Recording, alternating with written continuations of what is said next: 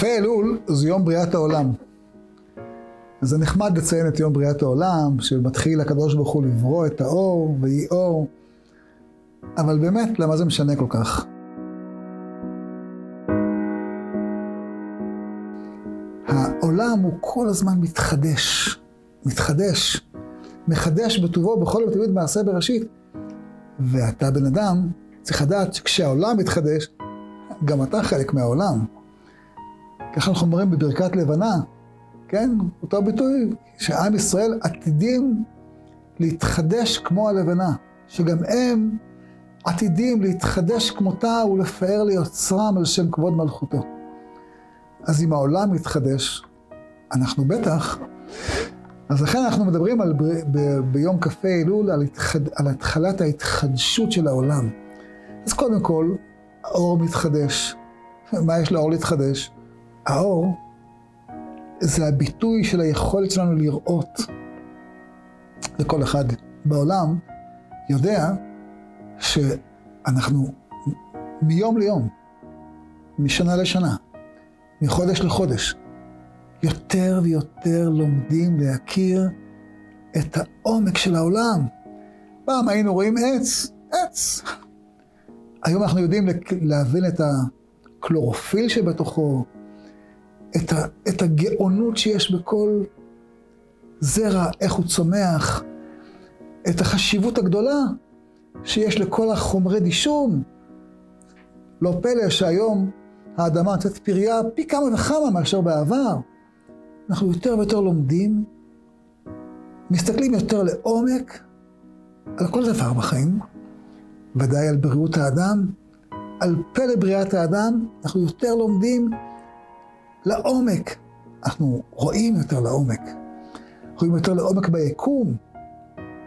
מה שחשבנו פעם על הגודל היקום, חשבנו אלפיים, חמשת אלפים, עשרת אלפים, מיליון כוכבים, מיליארד כוכבים, פתאום מסתבר שזה, אנחנו רואים יותר.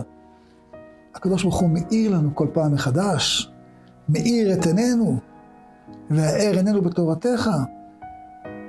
כן, העולם יותר מלא אור. ומקור האור, מקור האור, מקור האור זה בירושלים. כן, על זה נאמר ירושלים היא אורו של עולם, כי משם יוצאת האורה לעולם כולו. אז היום אנחנו לא רואים. אנחנו רואים שמירושלים יש הרבה ברכה, אבל המקום שממנו אמור לצאת היום אור, בעיניים יוצא ממנו חושך. כל הפורעים יוצאים שם, כל המשוגעים יוצאים שם.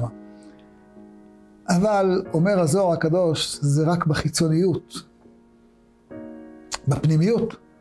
כל השפע של העולם מגיע משם. לא לחינם הישמעאלים נחזים שם בציפורניים שלהם בכל הכוח. הם רוצים לתפוס את השפע, שיהיה להם את השפע. אבל הם לא מבינים שהם תופסים רק את המעטפת. אין להם שום נגיעה בשפע שקורה שם. הראיה, תראו אותם משחקים כדורגל, תראו אותם כועסים, עצבנים. איך אתה יכול להיות עצבני במקום שכולו מלא אור, כולו מלא שכינה? איך אתה יכול לכעוס? איך אתה יכול לראות שם אבנים וזיקוקים ובקבוקי תבערה? הם לא קולטים. הם רוצים לתפוס את האור, והם קולטים רק את המעטפת שלו. אבל אנחנו, אנחנו שאנחנו רואים את המקום הזה, רואים אותו רק מרחוק. הלב שלנו כמה, כמה לך בשרי. ממש, צמאה לך נפשי, כמה לך בשרי.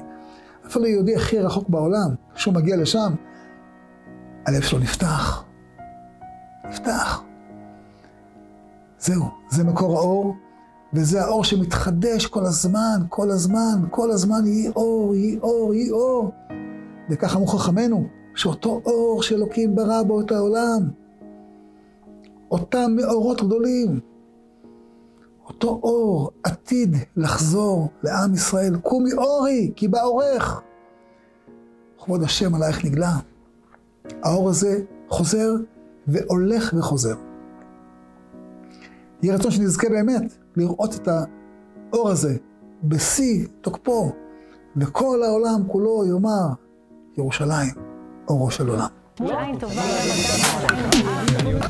of Wisdom. Sub brief and life changing moments. Join us. Subscribe to Moment of Wisdom channels on YouTube, Telegram, Facebook, Instagram, and WhatsApp.